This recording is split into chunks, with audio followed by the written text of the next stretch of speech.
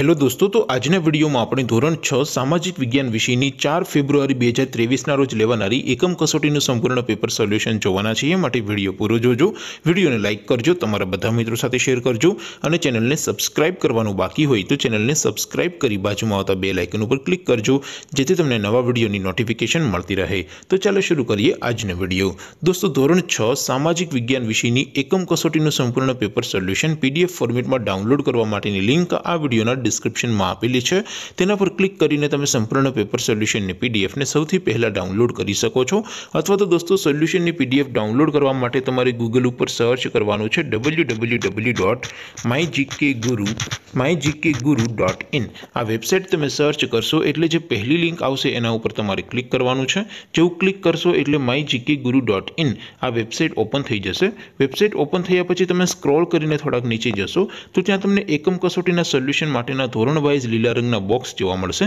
દોસ્તો અહીંથી તમે કોઈ પણ ધોરણની બધા જ વિષયોની એકમ કસોટીના ક્વેશ્ચન પેપર અને તેના સંપૂર્ણ પેપર સોલ્યુશનની પીડીએફને સૌથી પહેલાં ડાઉનલોડ કરી શકો છો જેમ કે દોસ્તો અત્યારે હું ધોરણ છ માટે ધોરણ છ વાળા બોક્સ ઉપર ક્લિક કરીશ જેવું ક્લિક કરશો એટલે નવું પેજ ઓપન થશે નવું પેજ ઓપન થાય એમાં તમે સ્ક્રોલ કરીને થોડાક નીચે જશો તો ત્યાં તમને ધોરણ છ પેપર સોલ્યુશન બે હજાર ત્રેવીસનું એક બોક્સ જોવા મળશે જેમાં દોસ્તો ઉપર લખેલું છે ધોરણ છ સામાજિક વિજ્ઞાન પેપર તેની સામે ડાઉનલોડ બટન છે તો એ ડાઉનલોડ ઉપર ક્લિક કરશો. તો ધોરણ છ, સામાજિક વિજ્ઞાન વિષયની એકમ કસોટીનું ક્વેશ્ચન પેપર પીડીએફ ફોર્મેટમાં ડાઉનલોડ થઈ જશે. તેની નીચે લખેલું છે, ધોરણ છ, સામાજિક વિજ્ઞાન સોલ્યુશન તેની સામે પણ ડાઉનલોડ બટન છે, તો એ ડાઉનલોડ ઉપર ક્લિક કરશો. તો ધોરણ છ, સામાજિક વિજ્ઞાન વિષયની એકમ કસોટીનું સંપૂર્ણ પેપર સોલ્યુશન પીડીએફ ફોર્મેટમાં ડાઉનલોડ થઈ જશે. તો દોસ્તો, આવી રીતે તમે ધોરણ છના બધા વિષયોની એકમ કસોટીના ક્વેશ્ચન પેપર અને તેના સંપૂર્ણ પેપર સોલ્યુશનની પીડીએફને W W W dot my GK guru dot in આ વેબસાઇટ પરથી ડાઉનલોડ કરી શકો છો તેમ છતાં કોઈ ક્વેરી હોય કોઈ પ્રશ્ન ન સમજાતો હોય તો નીચે કોમેન્ટ કરીને પૂછી શકો છો